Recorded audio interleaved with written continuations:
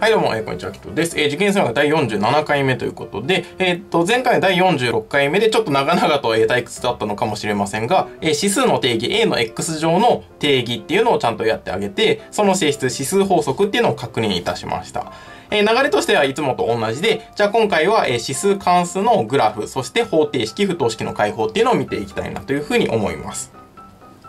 はい。まずは、指数関数のグラフなんですけれども、まあ、えっ、と、一般に y イコール a の x 乗みたいな、えー、形の関数のグラフっていうのを、えー、まずは見ていきたいと思います。で、えっ、と、これっていうのは、うんと、前回最後の方で注意したように、えっ、と、必ず a っていうのはプラスの範囲で考えてあげます。で、このグラフはどうなるのかっていうと、うんと、まず一つ目として、a っていうのが実は0と1の間にあるのかどうかで話が変わってきます。で、えっ、ー、と、a が0と1の間にある場合、どんな感じになるのかっていうと、えっ、ー、と、まあ、例えば y イコール2分の1の、えー、x 乗みたいな感じのを考えてあげたときに、えっ、と、0を入れてあげると1を通りますよっていうのがありました。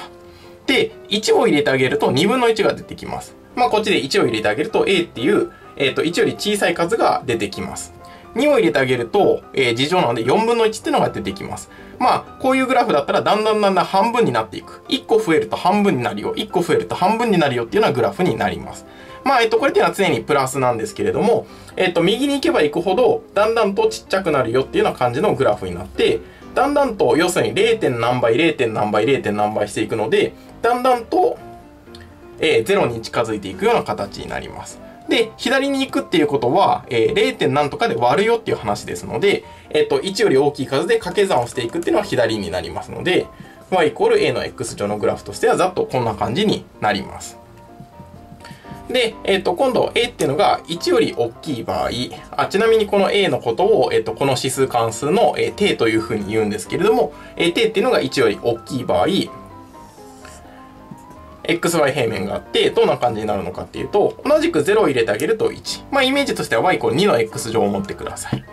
えっ、ー、と、x が1個増えると2倍、1個増えると2倍に行きますので、1入れると2が出てくるよ。a が1より大きければ、a 倍されているので、まあ、右側に行けば行くほど、え急に大きくなるよと。で、左に行くと、えー、割る a 割る a 割る a っていう感じになるので、まあ、これの左右、えっ、ー、と、対象の形になるんですけれども、えっ、ー、と、だんだんと0に行くような形になります。ちょっとちゃんと書き直しますね。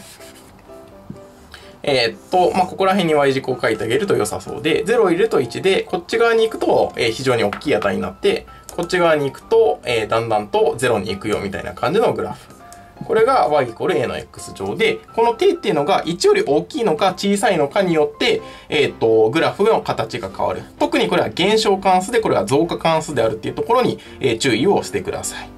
これが、え y イコール a の x 乗のグラフとなっております。ちなみに、えっ、ー、と、1の瞬間を省いているんですけれども、うんと、a イコール1の時は1の x 乗で、これっていうのは1になりますので、まあ、グラフとしては、えー、y イコール1という形で、うんと、状況によっては、えー、考えたり考えなかったりする場合がありますので、あの、なんかそこら辺は問題文に指示があることが多いので、うんと、まあ、ここに関してはちょっと、えっ、ー、と、曖昧にしておきたいなというふうに思います。省くことが多いような気がしますが、うんと、まあ、中には入れてくださいみたいな感じのもありますので、まあ、なんか、なんとなくっていう風な感じで済ませておきたいと思います。はい。で、一応これが、関数のグラフで、じゃあ今度、えー、方程式の解放を見ていきたいと思うんですけれども、指数関数の方程式の解放。で、えっ、ー、と、まず、えっ、ー、と、こうやってのは2つの型がありますので、そちらを見ていきたいと思うんですけれども、まず1つ目の型で、うんと、まあ、例えばこんな感じで考えてあげましょうか。3の x 足す2乗マイナス27イコール0みたいなタイプ。で、まあ、もうちょっと具体的にどういうタイプかっていうと、0は置いといて、えそれ以外の部分っていうのは、1個2個あるわけですよね。まあこの足し算引き算で個数を数えていくと、要するに2個の話になっているわけであります。で、なんで0を省くのかっていうと、まあこれ移行してあげればいいので、まあこんな感じ2個の場合っていうのは、3の x 足す次乗イコール27みたいな感じで、まあ1個とこっちが1個っていう感じの、えっ、ー、と、要するに、えっ、ー、と、左辺も単行で右辺も単行だよっていうような形に変形できるわけであります。で、こういうふうにできるということは、特に右辺ですね。3の x 足す2乗イコール3の3乗だよっていうの形になるので、あとはなんかこれを肩の数字を比べてあげれば良さそう。まあ一応、えのグラフ的なイメージもちゃんと持っておきましょうか。えっ、と、y イコール3の x 乗っていうのは、3っていうのは1より大きいのでこんな感じのグラフになります。それと、y イコール27っていうものは、ここに3があるんですけれども、まあ、これに対応する部分っていうのは1箇所しかありませんので、なんとか乗して3になるよってことは、まさにこの肩の筋がぴったし3になるよっていうことなので、x イコール1だよっていうような感じで答えを出すことができました。まとめますと、個数を、項数を数えてあげたときに、0以外の項が1項、2項、合計2項の場合、それは移項してあげれば1項ずつに変形することができますので、じゃあ1項ずつに変形した場合、まあ、こんな感じで、え、3のなんとか乗、まあ、これ定って言ったんですけど、この定を揃えてあげます。定を揃えて肩の数字を、え、比べてあげれば OK ですよ。これが、え、単項の場合の処理の方法になります。まずこれが1つ目。で、今度二つ目。じゃあ今の形じゃない場合の対処法っていうのを見ていきたいというふうに思います。えっ、ー、と、過去2番として、えっ、ー、と、今度は例えば、4の x 乗マイナス2の x 足す2乗を x 足す2乗マイナス32イコール0みたいな感じ。こんな感じで、今度は0以外のやつを数えてあげると、1、2、3、まあ合計3つなわけであります。で、えー、3つ以上ある時っていうのは、さっきみたいに両辺とも単項にするってことができませんので、そちらの方針は無理なわけであります。で、えっ、と、こういう場合の方針はどうするのかっていうと、えっ、と、まあ、指数の部分が2箇所あるんですけれども、2の x 足す2乗で4の x 乗で、これっていうのは、えっ、と、2のまあ、次乗の x 乗。最初は丁寧にやりましょうか。4っていうのは2の次乗の x 乗。で、これっていうのは2の 2x 乗です。これ指数法則使いました。で、2の x 乗の次乗ですよという感じで指数法則を使いました。つまりこっちっていうのは2のなんとか乗って形で表されて、まあ、これも2のなんとか乗っていう形なので、うんと、まあ、必要があれば2の x 乗みたいな感じで置き換えをして見てあげてください。そうすると、2の x 乗の次乗引くこれ指数法則使ってあげると、2の x 足す次乗っていうのは、2の次乗かける2の x 乗なので、マイナス4かけ2の x 乗、マイナス32イコール0。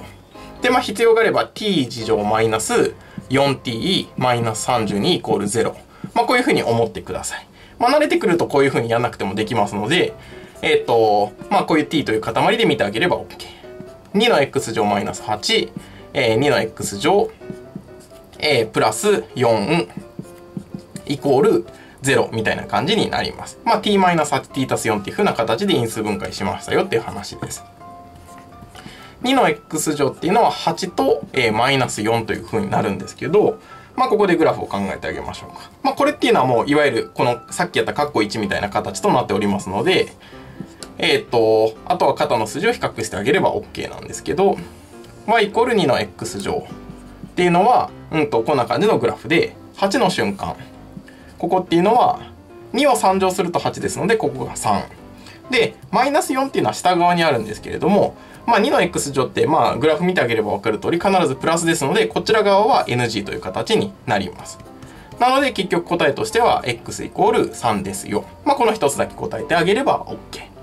形としては2つあるんですけど、今回は0以外の項を数えてあげた時に1項、2項、3項、3項以上ある場合っていうのは、どういうふうに対処するのかっていうと、うんと、まあ、あの、複数ある場合は特に、えっと、1箇所の、あそれぞれ部分注目してあげて、今回は2の x 乗っていう感じで、定2で揃えてあげるのが良さそうだっていう話になりました。なので、t イコール2の x 乗っていう置き換えができるみたいな形に変形してあげましょう。まあ、ここっていうのは2の x 乗の次乗。x 足す次乗っていうのは、次乗かけ2の x 乗。まあ、すなわちマイナス 4t。で、ここマイナス32。みたいな感じで、えっ、ー、と、あとは t の二次方程式になります。まあ、状況によっては三次方程式にもなったりしますが、複数ある場合は必ずこういう置き換えによって知っている形に変形することができますので、それで解いていってあげれば OK です。これが、えー、方程式の解放の2パターンになります。で、えー、今度、え、不等式を見ていきたいと思います。で、不等式も、えー、判断基準としては今と同じなんですけど、ちょっとだけ注意点が必要であります。で、えっ、ー、と、まあ、例えばこんな感じで、まず、括弧1。で、例えば2分の1の x マイナス1乗っていうのが、え、32分の1より小さい。例えばこんな不等式を解いてくれみたいなのを考えてあげましょう。で、さっきと同じように0以外の項を数えてあげて、1項2項ですので、えっ、ー、と、合計2つの項からなっているわけであります。ということは、えっ、と、定を揃えてあげると、2分の1の x-1 乗で、こっち側が2分の1の5乗。で、あの、よくあるミスっていうのが、じゃあさっきみたいに、あ、結局肩の数字だけ比べてあげて、こうしちゃえっていうのが、これよくあるミスなんですけれども、まあ、やっぱり基本的には、えグラフを考えてあげるっていうのは常の姿勢として、常の、常に持っておくべき姿勢として大事なことで、うんと、今回っていうのは、こんな感じですよね。2分の1の x 乗はイコール、え、ー、と、2分の1の、まあ、x 乗っていうのを考えていっているわけで、で、これがたまたま2分の1の5乗、すなわち5を入れてあげると、2分の1の5乗っていう風になるんですけれども、2分の1のなんとか乗がこれよりも小さくなるような範囲ってどこですかっていうと、まあ、この範囲なわけですよね。これよりも下側に来るような2分の1のなんとか乗っていうのは、この範囲になるわけであります。すなわち5より右側にあるよっていうような話で、なので、これっていうのは、x-1 っていうのが5よりも大きい。こっち側に x-1 っていうのがあるよっていうような時にこれが成り立つよっていう話で、結論言いますと、こことここが逆転しております。で、x っていうのが6より大きいというのが正しい答えになります。あの、一般的な形で書きますと、a の x 乗と a の y 乗っていうのがあった時に、えっ、と、A っていうのが1より大きい、定が1より大きい場合は単調増加ですので、中身の代償関係と、えー、入れた結果の代償関係っていうのは同じです。で、一方、えっ、と、A っていうのが1より小さい、まあ0と1の間の時っていうのは、えっ、と、単調減少のグラフですので、大きい数を入れれば入れるほど小さい値が出てくるよっていうような形で、こことここの符号が入れ替わるっていうところには注意をしなければいけません。まとめますと、項の数を数えて1項2項の場合、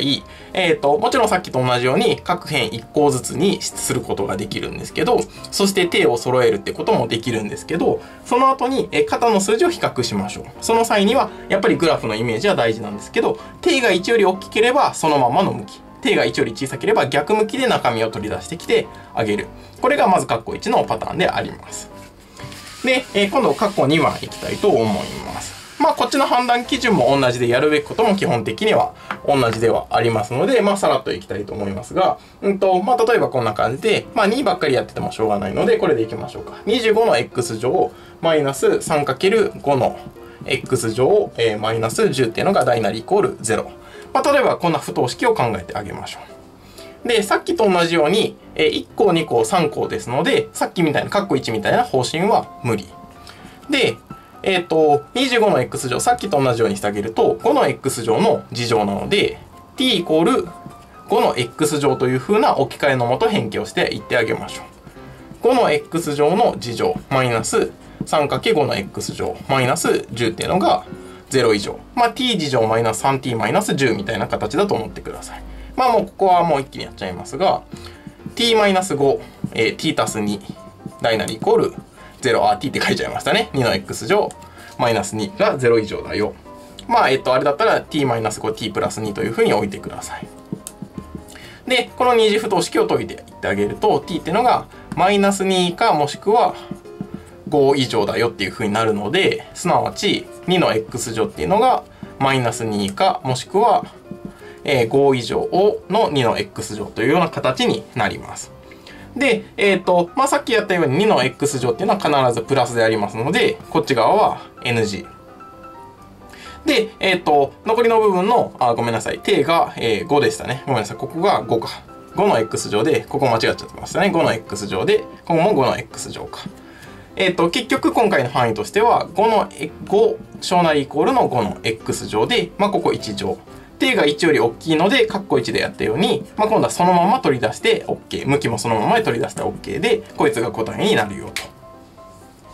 はい。これが、えっ、ー、と、1、2、3項。3項以上の場合の対処法で、やるべきことは同じであります。えっ、ー、と、t イコールなんとかの x 乗みたいな感じで置き換えできるような形になりますので、その塊で、えっ、ー、と、変形していって、今回でいう二次不等式の形になりますよ。あとはその結果を追っていってあげれば終了ですよっていう話であります。えっと、まあ、この判断基準の、えー、0以外の数を数えてあげて、2個か3個以上なのかっていう部分と、あとは具体的な変形、そして最初の方に言った単調増加か単小減少かっていうような部分の注意点はしっかりと押さえておきましょう。はい。ということで、えっと、今回は、え、っと、方程式、不等式の解法っていうのを見ていったわけであります。えー、次回最大最小の、まあ、とりあえず 1A、2B で解けるような話をしていきたいと思います。とりあえず今回はここら辺で。また見てください。バイバイ。